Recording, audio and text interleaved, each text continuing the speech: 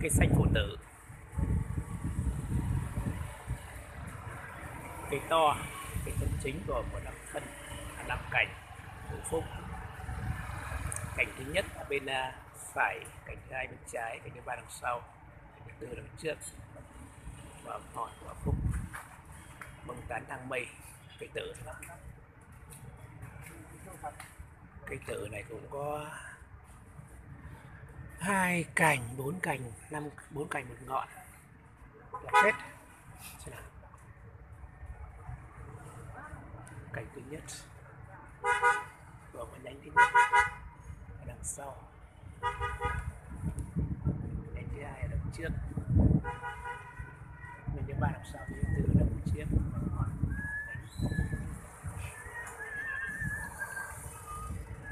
Nhánh thứ nhất gồm có một bông hai bông ba bông bốn bông nhánh thứ hai.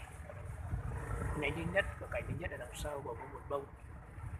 Hai bông ba bông. Nhánh thứ hai ở đằng trước. Gồm có cành đầu tiên nhánh đầu tiên trả lại. Cành đầu tiên nhánh cành thứ hai đằng trước một cành đầu tiên trả lại. Và cành thứ hai lên thì được có hai ba bông.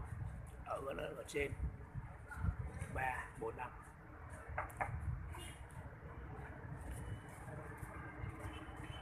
cành thứ hai, nhánh đầu tiên ở đằng trước. Ôi trời.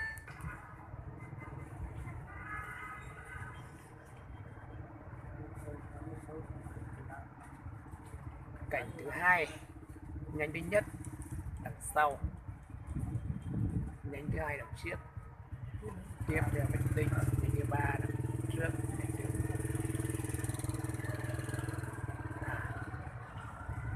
nhánh thứ nhất đằng sau nhánh thứ hai đằng trước này nhánh thứ ba đằng sau nhánh thứ tư đằng trước trên một cánh đinh một loạt ra.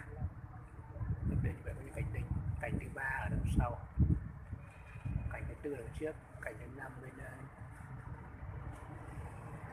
trách bên phải cánh thứ tư bên trái và bên ngọn là một.